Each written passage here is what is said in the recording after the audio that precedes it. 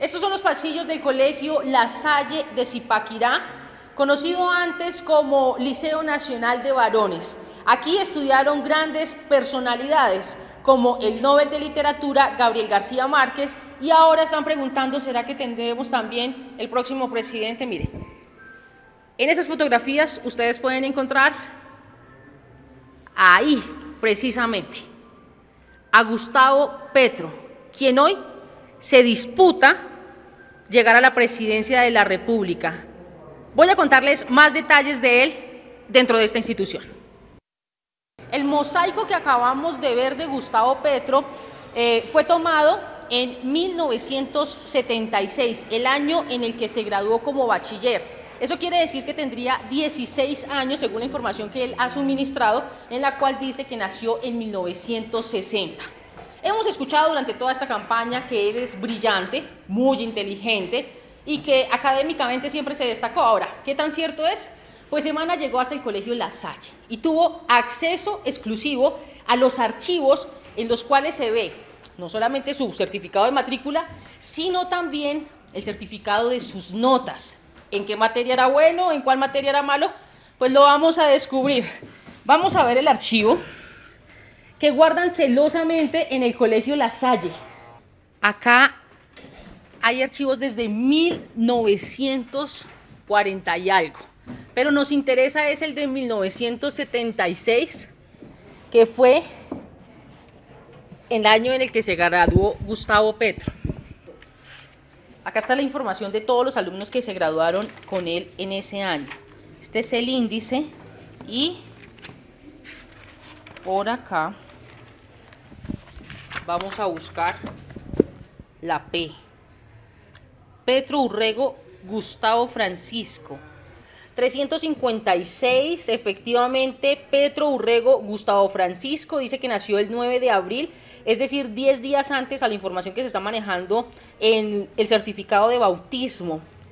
Estudió en La Salle, sin embargo, en quinto año de primaria parece que estudió en anexa a la normal, volvió a La Salle y vemos la firma, la firma de niño de Gustavo Petro. Siempre estudió en calidad de externo, porque recordemos que para esa época también había internado en estos colegios. Ahora vamos a ver lo que nos interesa, las notas. Estos son los de las calificaciones.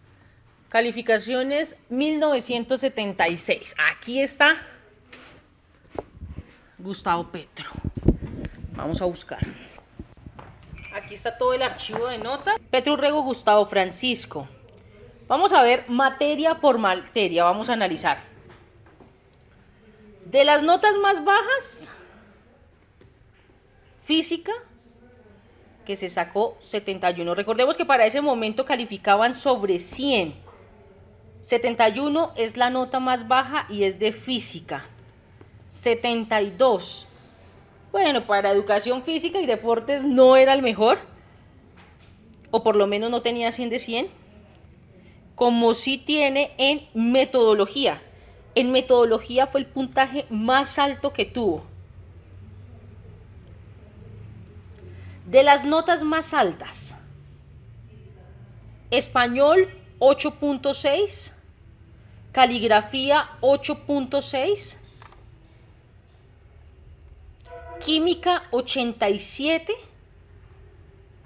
La, lo mismo sacó en filosofía. En comportamiento y salud está entre las notas más bajas. Acá tenemos un 90, el promedio total de sus calificaciones en análisis matemático.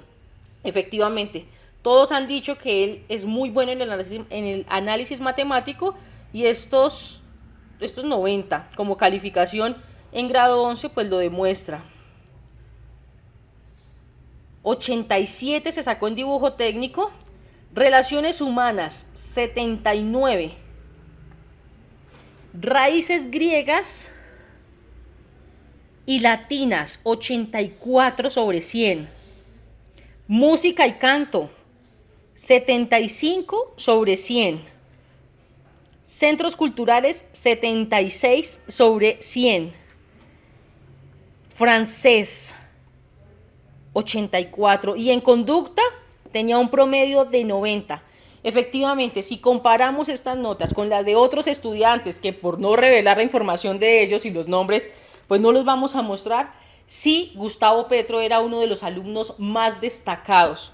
Sus notas siempre estuvieron sobre 7, alcanzando incluso notas de 100 a 100, y una de las más fuertes era metodología y análisis matemático.